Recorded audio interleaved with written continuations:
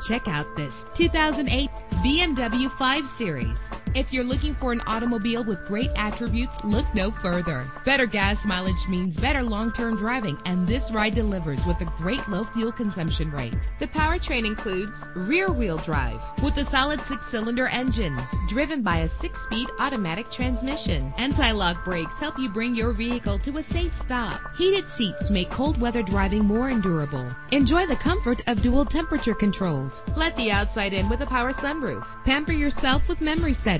Know the history on this ride and greatly reduce your buying risk with the included Carfax Vehicle History Report.